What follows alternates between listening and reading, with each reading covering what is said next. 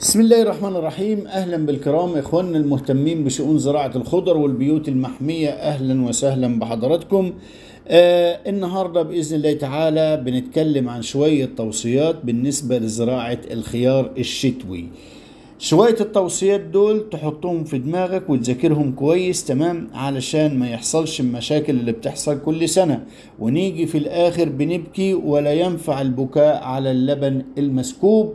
فتعالى على نفسك كده وحاول تمسك ورقة وقلم وحضرتك يا ريت تكمل معانا الفيديو للآخر. يا ريت لو ده ما يزعجش حضرتك يعني تكمله للآخر عشان اللي بقوله نفس الأسئلة واللي بشرحه للأسف الشديد بيجي لي على الواتساب. المهم عشان نزرع موسم محترم بالنسبة للخيار الشتوي ونبدأ بداية موفقة أول حاجة حضرتك ميعاد شوف الناس هتتكلم في حاجات تانية أنا أول حاجة بقولها لك الميعاد ميعاد الزراعة. ميعاد الزراعة يا جماعة ما تأخرش بالنسبة للخيار.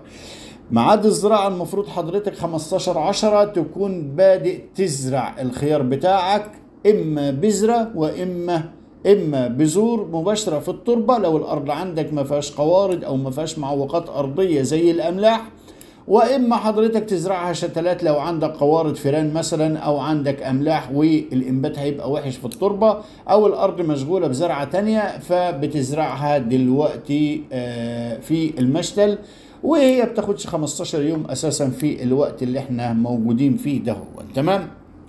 هتبدأ حضرتك تزرع لو بتزرع بذرة ازرع في 15 10 آخرك خالص لا تزيد عن خم عن عن عن 25 10 وهقول لك ليه. تمام؟ لو انت بتزرع بذر لو بتزرع شتلات عادي ممكن تزرع في بداية 11 ما عندكش أي مشكلة خالص. تمام؟ لما بنزرع يا جماعة في 15 10 مميزاتها إن أنا بعمل مجموع خضري قوي. بعمل مجموع خضري قوي. وبالتالي لما بيدخل عليا البرد تمام؟ ما عنديش مشكلة خالص. والنبات بيتحمل موجات البرد اللي هي أول حاجة هتعمل لك تقليل للإنتاج وهتوقف لك القمة النامية وهتعمل لك مشاكل كتير تمام؟ ده لو النبات بتاعك انت زرع في أول 12 والناس اللي هي بت إيه بتهرج ديت في مواعيد الزراعة. آه الزراعة لما تزرعها حضرتك بدري لو زرعت في 15 10 يبقى 45 يوم هتجمع 5 12 أقصاها. هيبقى عندك محصول اللي هو هيجي في بداية البرد وإن شاء الله تكون الأسعار كويسة. تمام؟ ما كانتش الأسعار كويسة بيكفيك إنك أنت طلعت زرع كويس. الرزق ده بتاع ربنا لا بتاعي ولا بتاعك. يبقى أول حاجة ميعاد الزراعة يا جماعة لو أنت بتزرع شتوي آه بتزرع بذور تمام؟ بتزرع حضرتك في 15 10 آه لحد 25 10 تمام؟ ما تزودش عن كده يعني عشان النبات يقدر يكون كويس. دي رقم واحد. رقم اتنين حضرتك المية عندك لازم تكون كويس. لو انت عارف المية بتاعتك خلاص ما تهتمش بالنقطة ديت. لو انت مأجر الأرض أو انت شاكك في المية أو المية بتاعتك مش كويسة تحاول تشوف مصدر مية كويس. أو إنك أنت ما تزرعش على مية الأملاح بتاعتها عالية ما تروحش تزرع على 2000 و1500 والكلام ده كلته. في ناس هتقول لي أنا بزرع على كده أنت حر ولكن هيعمل لك إجهاد في إضافة مزيل الملوحه وإن النبات مش هيكون لا يمكن هيكون كويس برضه. دنيا يعني فيها مشاكل كتير. فعشان كده لو حضرتك واخد الأرض جديدة دوق المية بتاعتك أو جربها. ما ما, ما تروحش تحلل. دوق المية. لو قدرت تشربها أمورك تمام. لو قدرت تعمل منها شيء امورك تمام بالفلاحي خالص تمام؟ نروح على التربة بتاعتنا التربة اللي فيها أملاح لو الأرض بتاعتك جديدة التربة مملحة ولا مش مملحة آه فيها أملاح ولا ما فيهاش أملاح؟ الهستر بتاعها التاريخ بيقول إيه؟ بيقول فيها أملاح ولا ما فيهاش أملاح؟ لو ما فيهاش أملاح توكل على الله.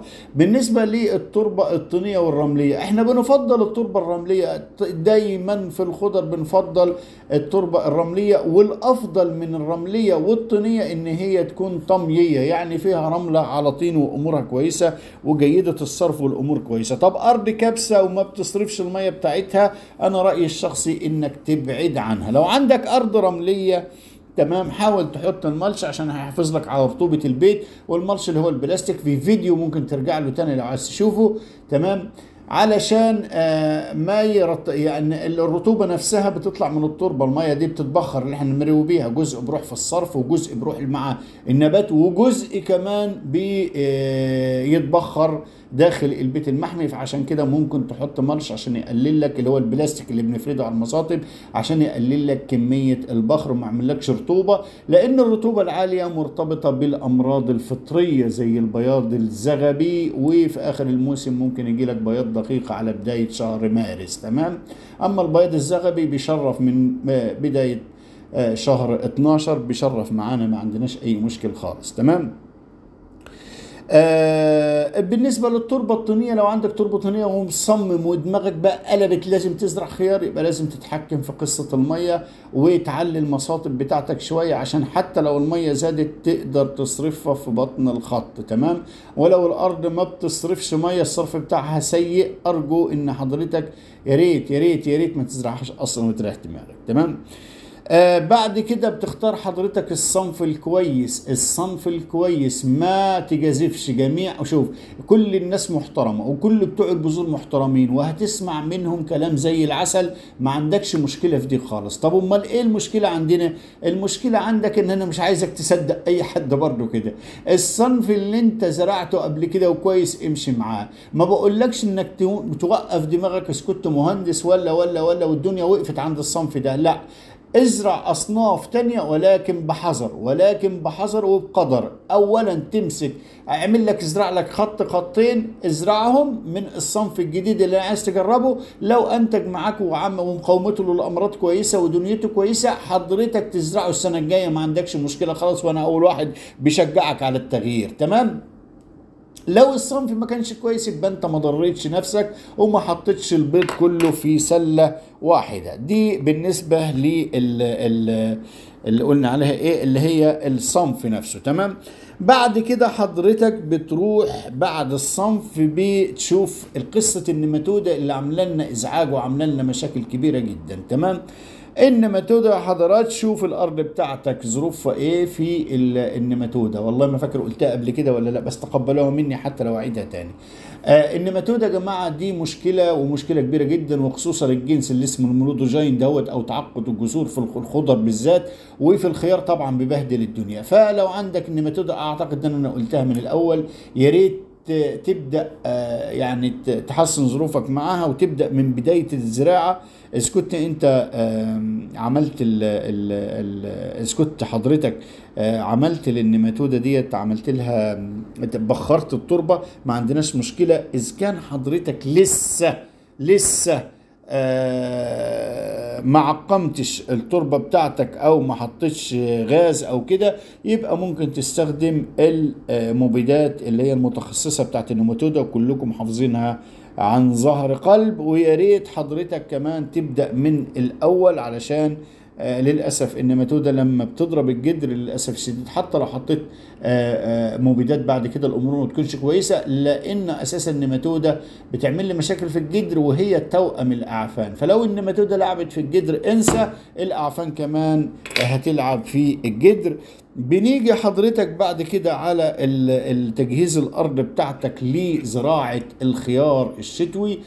الأرض بتاعتك هتقول لي هي العملية يعني خصوبة التربه عندك عاملة إيه؟ هنحط إيه؟ حط أول حاجة أنا بقول لك السماد العضوي السماد العضوي السماد العضوي وأهم شيء تقلبه كويس وتخمره في الأرض كويس يعني نضيف عليه مية كتيرة يا جماعة. نضيف عليه مية كتيرة وعلى أيام متعددة. لو أنا هزرع يبقى قبل الزراعة بأسبوع قد مية لحد الأسمدة العضوية مع المعدنية ما تكون كويسة معايا. طيب حضرتك هت هت هت هتحط اسمدة معدنية قد إيه وعضوية قد إيه؟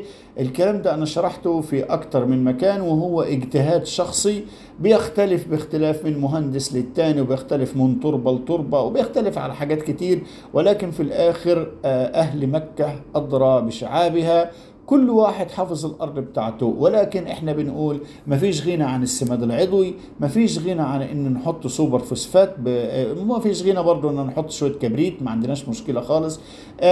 أكتر حاجتين أنا بحب أحطهم السوبر فوسفات لأن ال- الفوسفور بطيء في الحركة بتاعته بطيء في التحلل.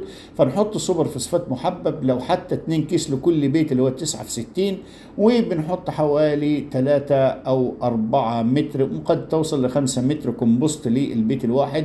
آه، متر مكعب ما عندكش أي مشكل خالص. والأهم زي ما قلنا ان أمورك تكون كويسة في عملية التخمير. وإن بعد كده بتبدأ تزرع. وقلنا الزراعة إما تكون بالبذور أو تكون بالشتلات والبذور بنفضلها زي ما قلنا مليون مرة قبل كده. آه، بنفضلها في وقت يكون فيه ال- ال- ما عنديش أملاح في التربة ولا في مية الري ولا أي معوقات أرضية ولا عندي قوارض تاكل البذور. اتوكل على الله وازرع بذور. مباشرة أفضل لك. تمام؟ هي الأفضل. لو آه، في عندك مشاكل يبقى الأفضل إنك تزرع الشتلات بتاعتك. وبعد ما تزرع ادخل على قناة بانوراما زراعية هتلاقي كل الأسمدة آه، وبرامج التسميد والمكافحة حاطينها للخيار ومرتبينها سواء الخيار الشتوي أو الخيار الصيفي علشان بس ما تقولش إن إحنا مش قايلين الكلام ده. الكلام ده موجود وما عندك أي مشكل خالص فيه. برامج التسميد وبرامج المكافحة موجودة على بانوراما زراعية. آه ثلاث فيديوهات هتشوفهم ولو نفذتهم أمورك هتبقى كويس. غير كده آه أي سؤال عابر إحنا تحت أمر أي حد. ولكن الأسئلة يعني المتكررة واللي الناس يعني بتطلب فيها آه، طلبات مستحيلة ديا آه عفوا ما بنتقبلهاش خالص. وبنضطر آسفين. إن إحنا نعمل حظر للي بيسأل. شكرا لحضراتكم. السلام عليكم ورحمة الله تعالى وبركاته.